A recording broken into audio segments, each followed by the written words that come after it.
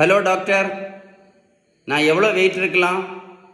அதுக்கு உங்களுக்கு சின்ன ஒரு கேல்குலேஷன் சொல்லி தர போகிறேன் பாருங்கள் இப்போ நீங்கள் நூற்றி எழுபத்தெட்டு சென்டிமீட்டர் உயரம் இருக்கிறீங்கன்னு வைப்போம்.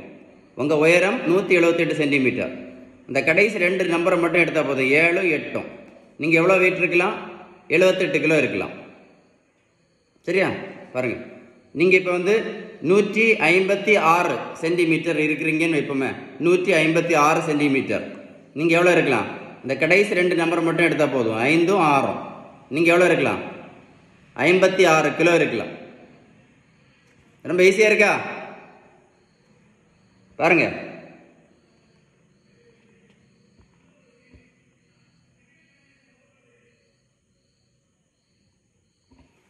ரொம்ப ஈஸியாக இருக்கா? உங்கள் ஃப்ரெண்ட்ஸுக்கு நீங்கள் கண்டிப்பாக இதை ஷேர் பண்ணணும். ஓகேவா கண்டிப்பாக இந்த இந்த முக்கியமான இன்ஃபர்மேஷனை யாருக்கு ஷேர் பண்ணணும்? உங்கள் ஃப்ரெண்ட்ஸுக்கு நீங்கள் கண்டிப்பாக ஷேர் பண்ணணும். நிறைய பேருக்கு தெரியாமல் இருக்காங்க.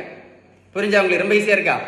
இப்போ நீங்கள் நூற்றி எழுபத்தி எட்டு சென்டிமீட்டர்னா கடைசி ரெண்டு நம்பர் மட்டும் எடுத்தால் போதும். எவ்வளோ இருக்கணும்? எழுபத்தி எட்டு kilo that's all stay tuned with doctor ஷீபான் யூஸ்ஃபுல்லாக இருக்கா? கண்டிப்பாக ஷேர் பண்ணுங்க. ஓகேவா தேங்க்யூ